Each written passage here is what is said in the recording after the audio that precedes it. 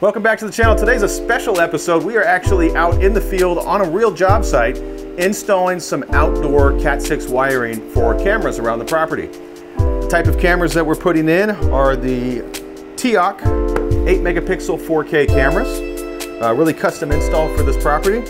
And the type of wire that we're using is the Cat 6 outdoor shielded wire. The video today is highlighting how to terminate or connectorize this wire because it is a little harder to deal with and I can probably give you some helpful tips. All right, let's get started. It is about 105 degrees out here today in Northern California. We have an infield switch inside of a locking box that we have some outdoor Cat 6 running through and we're going to need to put a RJ45 connection on this wire. I'm going to have you come in a little closer here so we can go over some tools that you're going to need and some you might not possibly consider. Number one, you're going to need our RJ45 Cat 6 connectors. These ones here are made for outdoor cabling. Two, we're going to need something to crimp that connector as well as cut. Three, I use a pair of lineman scissors. They help me out, uh, but not in the way you might consider. A pair of needle nose pliers and some cross cutters. First thing we're gonna do, we need to get underneath this outdoor sheathing. We have the outdoor weatherproof coating as well as some shielding underneath that, a moisture resistant layer, and then the actual wire. Uh, I like to use this Klein cut, strip, trim, and crimper. Uh, it's my personal favorite. It's worked really well. I like it because it's very durable. Uh, in no way are we sponsored by Klein or anything like that. The model number on this, in case you want to find it, is the Victor Delta Victor 226-110. I've actually gone through quite a few different types of these uh, from different companies. This one is my favorite for a few different reasons. Uh, first thing we're going to do, it does have a strip section, so we're going to slide our wire in through here. Give yourself plenty on the end of this uh, because you're going to need some wire to work with. Once I cut that, a lot of times I'll roll it around until this outdoor sheathing comes off, exposing the shielding. Here I have my shield. I'm just going to peel that off. I have a ground cable as well as a piece of stripping cable if I need it. I don't though, so I'm going to trim that. Pull the ground cable back. The next layer is this weather resistant fiber. We won't be needing that here, so we're going to cut that off. And remove the plastic coating. Now we've got our four pairs of wires. I like to fold these guys down. And we've got our internal brace structure here. We'll trim this off. Now we're ready to start working with this wire. The configuration that we are using is a type B configuration.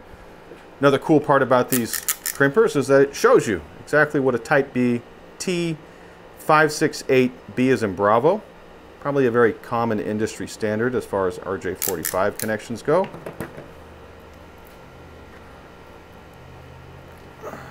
And I like to kind of organize my wires based on color, orange, green, blue, and brown. And now we can go ahead and unwrap these. So one at a time, we'll untwist our wires. Um, this wire, you'll notice, is a little bit uh, harder to work with. It's definitely stiffer. I mean, it's a hot day today and it's still pretty stiff. I can't straighten it with my fingertips uh, as compared to like your normal riser Cat 6 where I could easily flatten that wire out with my fingertips. Uh, so I'm just going to get them unraveled here first and then we're going to jump to our lineman scissors to flatten these guys out. There we go. Okay, so I have them all fanned out based on a type B connection, but they're still a little wiggly, a little twisted up there. I need to flatten these out so that I can get them into my terminal, my termination point here. These commonly in the tech world, we refer to these as ice cubes. So what I'm going to do is use my lineman scissors. And what's nice about these, most lineman scissors have, of course, a scissor side. They have a stripping side for like a telco type stripping where you can strip the, the wire out. But they have these little grooves on them here on the, the side. And that is actually made so that you can push your thumb on the wire and pull it out. And notice how nice and straight that is now. So I'm going to go through, I like to do two at a time on this and straighten out my wires. You don't have to pull too hard. It doesn't need a whole lot of force.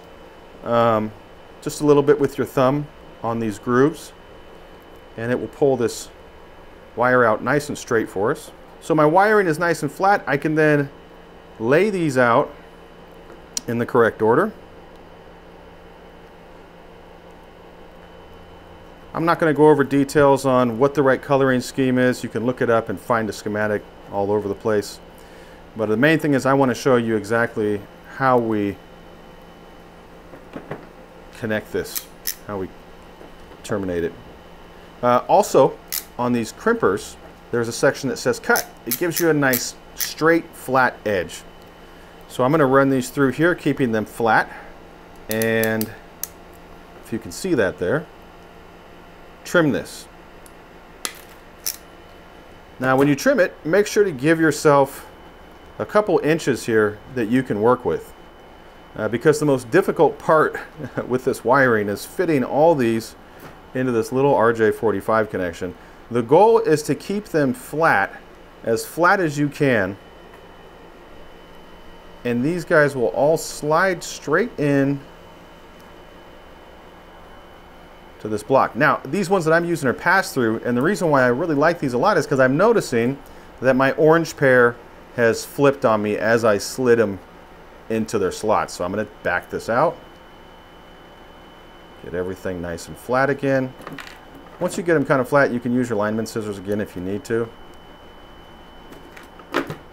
Sometimes I'll use my cross cutters. You can do the same thing if yours doesn't have a cut side and cut those wires flat with these.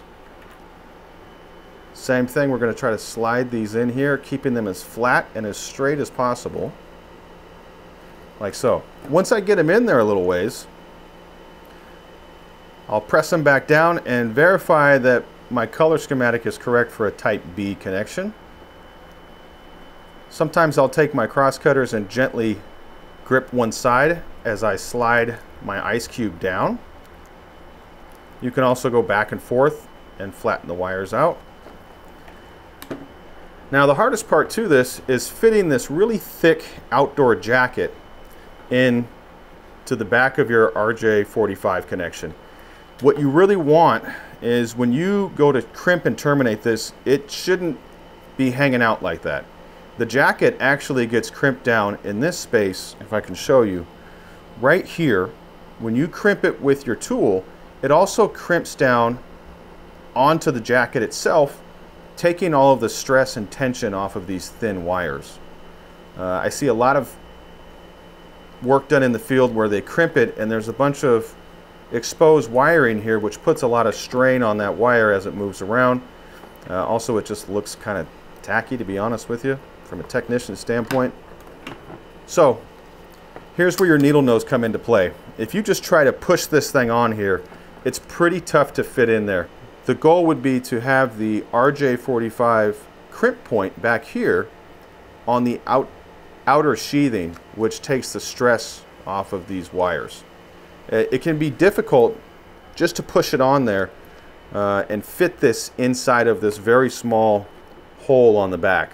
So one tip, a quick tech tip, is to use a pair of needle nose or something to crimp this down and just flatten out this section of your wire. Now you should be able to wiggle that in.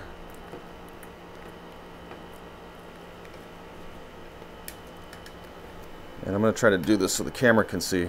But you want to push it on this side and push it from this angle and try to get that outdoor sheathing as far in as you can. At least to this point right here where you can see this plastic crimp area so I have this one in I'm able to inspect the outside, nothing's hanging out. It looks pretty good. Now I can crimp my wire and trim off this excess at the same time.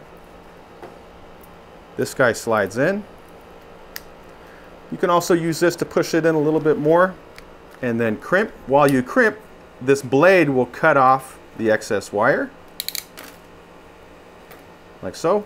Sometimes I'll give it two just to be sure. And that is how you put an RJ45 connection on an outdoor rated Cat 6 wire.